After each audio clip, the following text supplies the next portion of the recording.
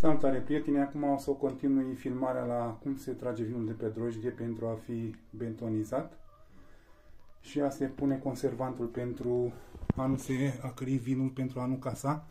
Deci din greșeală mi s-a închis telefonul, am apăsat pe butonul, când am luat telefonul pe butonul de oprire și mi s-a închis videoclipul care a fost anterior, deci înainte. Acum am desfăcut acest pachet de bentonită aceasta este o argilă care, cum v-am spus, se adaugă la Deci aceasta se adaugă la o damigeană de vin. Deci 50 de grame de bentonită.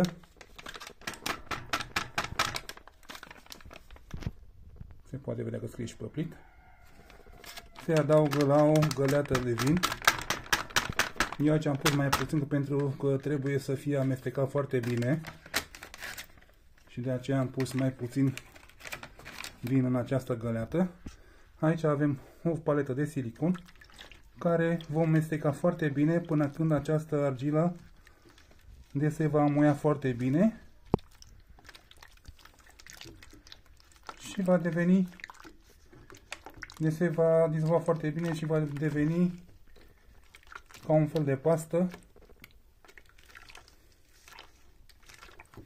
Deci trebuie dizolvată foarte bine, nu trebuie să o punem nedizolvată.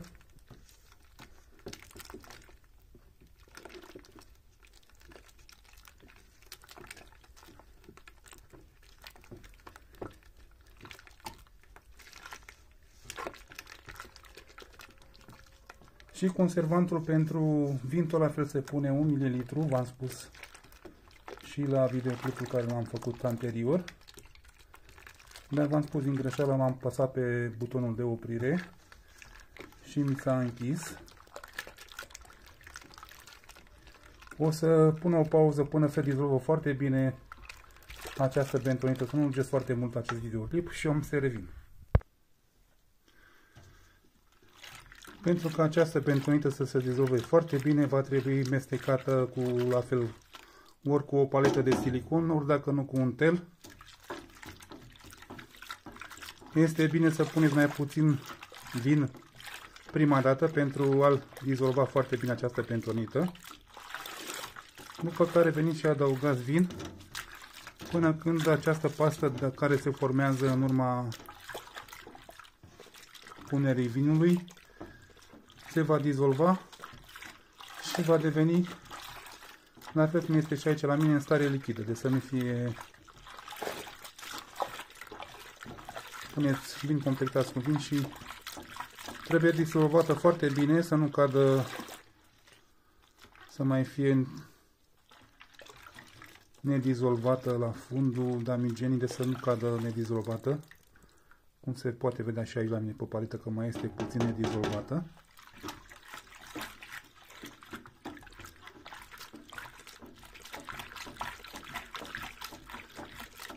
Atenție, deci când puneți bentonita și conservantul pentru vin, nu se consumă vinul, deci acesta se consumă după ce trece perioada de 21 de zile,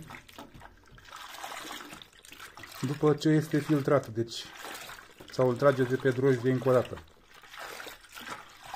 Deci să nu consumați înainte de 21 de zile și v-am spus pentru a se limpezi cât mai bine, este bine să-l și-l filtrați.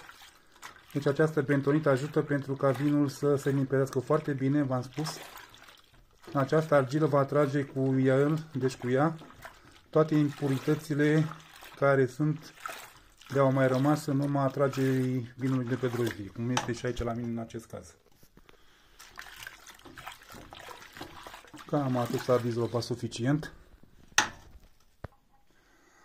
Acum am desfăcut dopul la conservantul pentru vin alimentar. Din păcate văd că bateria o să cam, cam lase, mai este 10%, o să fac mai repede. Pornim cântarul la 0, deci cu powerul pus și vom cântări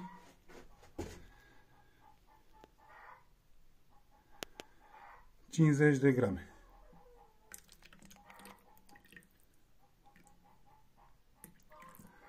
Nu trebuie să puneți mai mult.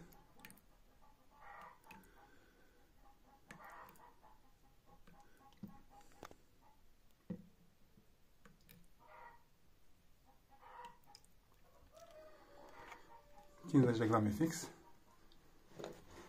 Acesta are rolul de a menține vinul să nu se mai acrească. Are un miros foarte puternic, tare, trage la nas. Pă. Îl voi goli în damigeană.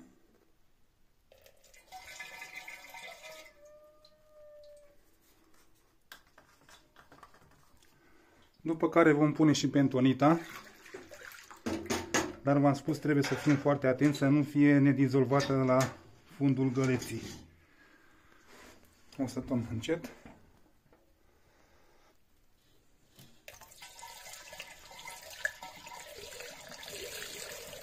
Și dacă a mai rămas nedizolvată la fundul găleții, se mai continuă cu cantitatea de vin rămasă. După ce este tras pe drojdie, după 21 de zile,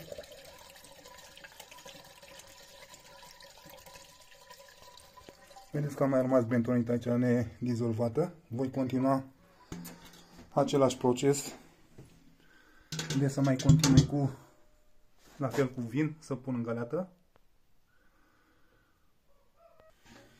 Să facem la fel același proces, deci Mestecăm foarte bine până când bentonita se dizolvă foarte bine în găleată.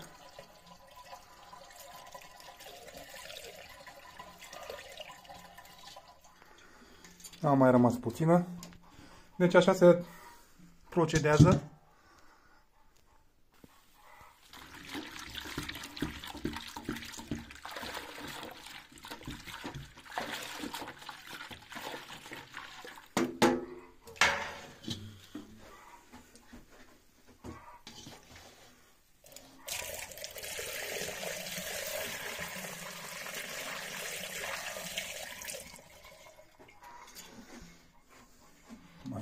puțină. Mai mi-a rămas puțin, dar nu o pun acum deci și restul de vin. Pentru că vreau să suflu puțin. O să bat furtunul. Și am să suflu puțin pentru a se amesteca foarte bine vinul. De se bagă furtunul. Și să suflă pentru ca vinul să se amestece foarte bine cu pentonita și cu conservantul alimentar.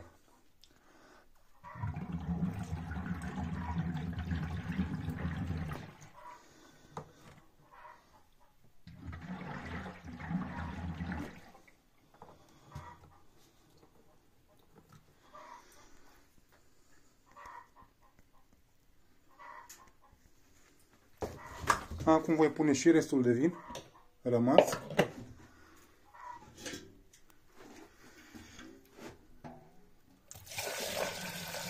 Și v-am spus, nu trebuie consumat când puneți bentonită și conservantul alimentar vinul până când am pus cam mult. Asta este. Deci această damigeană a fost mai mică ca cea care a intrat vinul în care l-am scos. Nu este nimic. Deci acum se pune dopul. O să mai scot puțin din vin.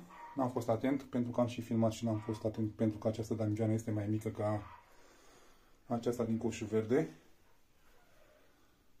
Oricum n-a curs mult. Dar nu este bine să curg, oricum o să spăl damigeana și coșul când îl voi trage de pe drojdi. Aceasta după 21 de zile, când îl voi și filtra cu filtrul de vin cu 12 plăci filtrante. Deci această pentonită, dacă aveți vin alb, se pune, am înțeles, cam cantitatea dublă. Deci la vinul alb se pune 2 grame la un litru de vin. Asta ar însemna cam două pachete pe deci cam două pachete la o damigeană. La vinul roșu se pune decât un singur plic. De 50 de grame. Vă mulțumesc pentru vizionare și dacă acest videoclip a fost de folos, vă puteți abona la canalul meu. Vă doresc să vă iese vinul foarte bun, sănătate, numai bine, la revedere și sărbători fericite. Vă spun de pe acum.